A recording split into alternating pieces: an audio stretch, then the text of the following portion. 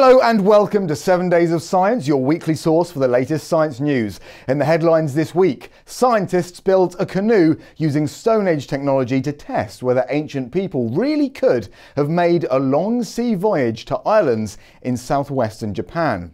An enigmatic new dinosaur species has been discovered. Cheese does give you nightmares, and much more.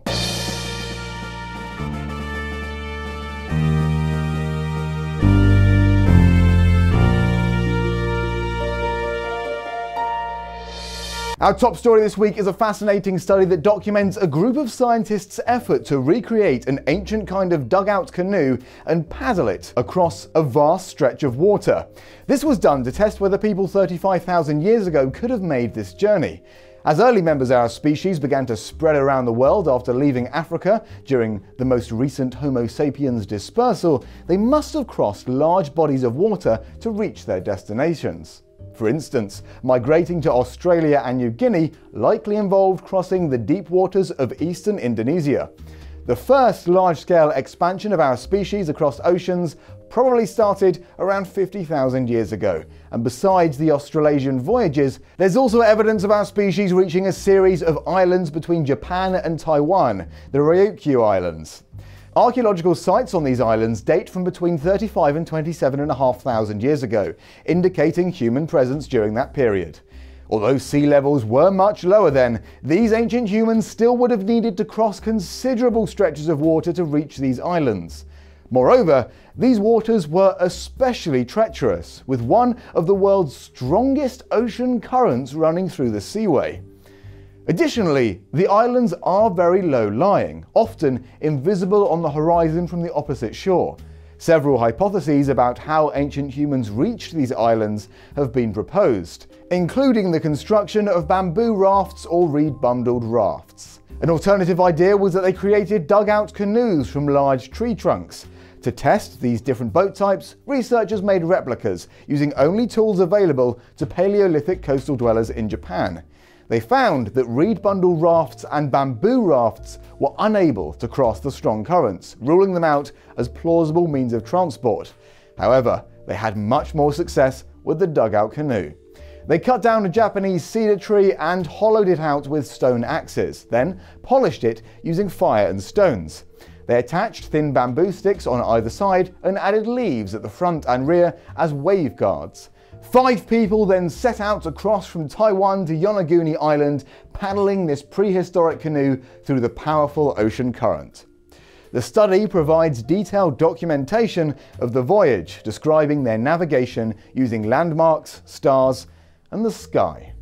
The journey took a total of 45 hours and 10 minutes, during which they travelled approximately 225 kilometres, occasionally taking wrong turns, but ultimately succeeding.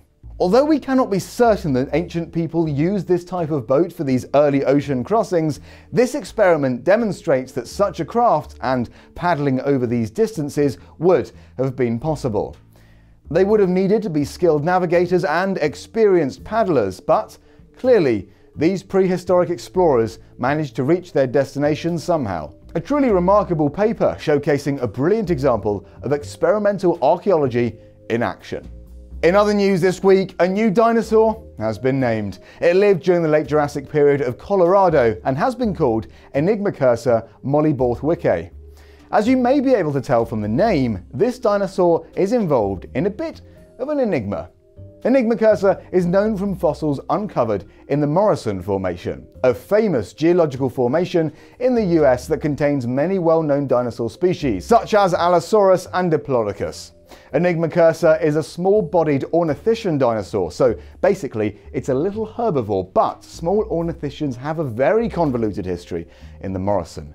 To simplify it greatly, several names have been given to some of the small ornithischians in this formation in the past, but a very recent study found that none of them are based on good enough remains. Therefore, none of the previous names are valid anymore.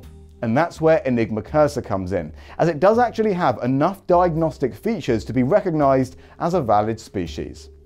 Enigmacursor has leg proportions suggesting it was a fast runner, darting about the ancient Morrison ecosystem, and its existence shows that these particular dinosaurs were, in fact, quite diverse here, despite their poor fossil record. And now it's on display at the London Natural History Museum. Also in the paleo news, researchers published an important study exploring the evolutionary origins and diversification of squid. Squid are fascinating animals. However, understanding their evolution has been quite difficult due to their soft-bodied nature, which means they rarely leave fossils. This new study employed a clever technique to detect squid in the fossil record, a method they call digital fossil mining.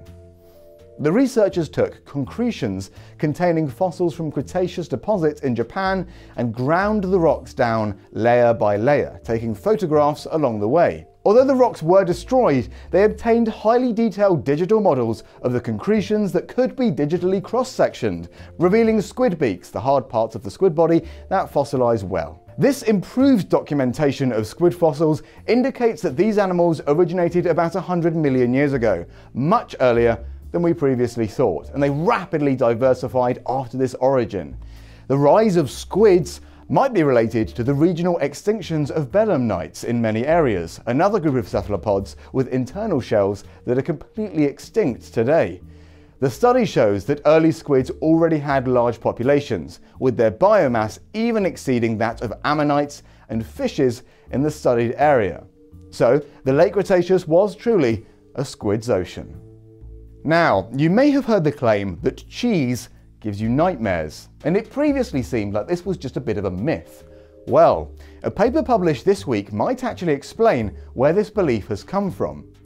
Published in the journal Frontiers of Psychology, the paper details research in which over a thousand students at MacEwan University in the USA participated. These students were asked about their sleep time, quality, dreams, and nightmares, and then about their physical health, mental health, and their relationship with food.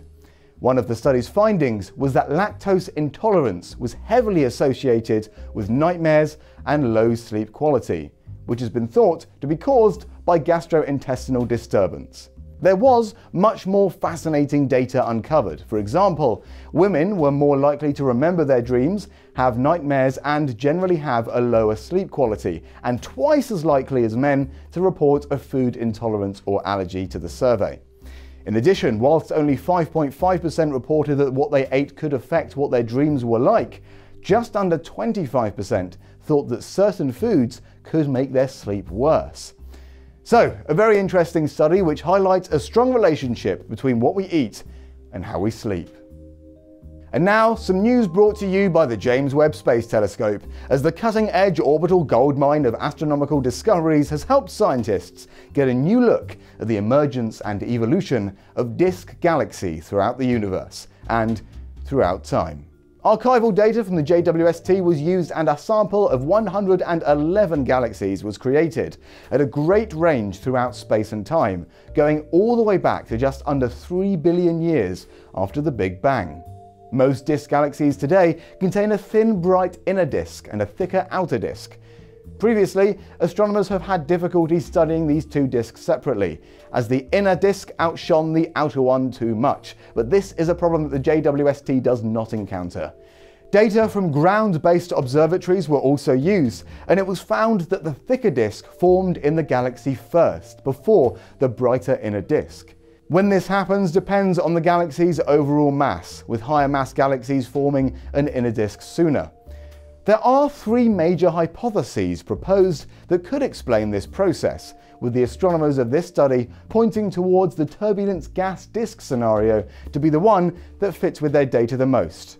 A fascinating look into the history of our universe that has once again only been made possible thanks to the JWST.